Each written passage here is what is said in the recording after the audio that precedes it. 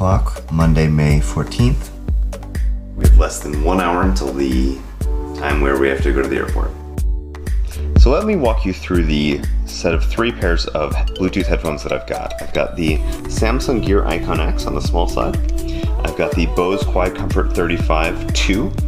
Uh, and then I also have a pair of Bluetooth noise canceling headphones from Google. I really like the Samsung Gear Icon X headphones because they fit in your ear, you've got a charging case, uh, and in general the Bluetooth is pretty good. The biggest problem with these is that they actually broke, and so now the left ear, I can't hear anything. Next we have the Bose Quiet Comfort 35 2 headphones, which come in this really awesome slim case. Uh, they're really good quality, they're very comfortable, really good noise cancellation, the best of kind of all the features. The biggest problem with these is that they don't have a USB-C charging port. It still charges via micro USB, which is a big giant pain if you're trying to travel with them. Lastly, we have a pair of headphones uh, that I got as a Google employee. So these have really good noise cancellation, but not quite as good as the Bose Quiet Comfort 35. Uh, they have, they're pretty comfortable, not as comfortable as the Bose Quiet Comfort 35. Uh, they do have USB-C charging, which is really nice. They do have a lot of onboard controls, which is awesome.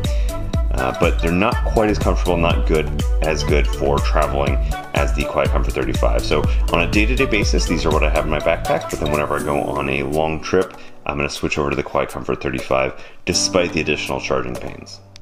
Car comes in about three minutes. We're soaking up the last moments of internet before the trip. Normally, we're like running out the door at this point, but it seems like we have like an extra five minutes. It's kind of crazy.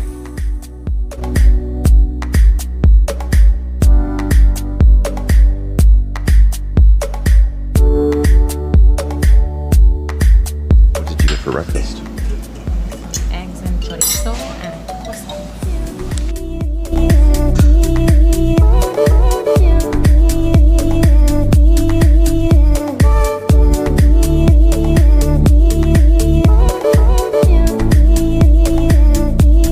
So I get the window, you get the aisle.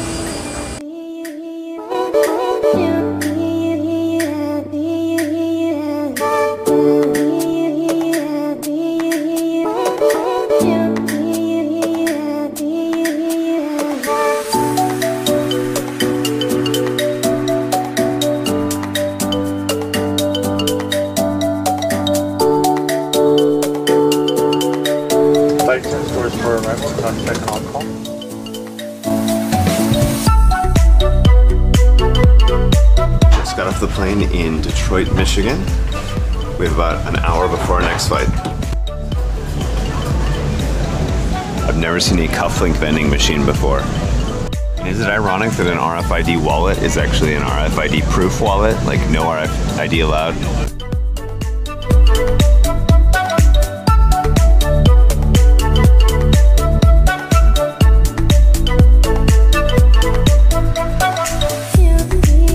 So how was Andiamo? It was okay. I thought it was pretty good.